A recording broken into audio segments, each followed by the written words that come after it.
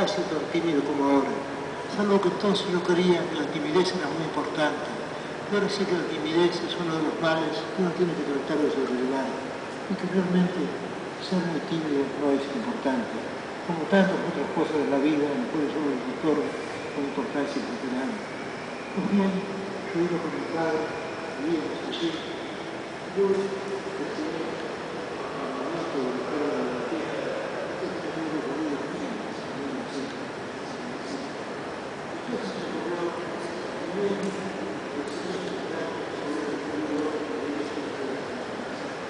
Krishna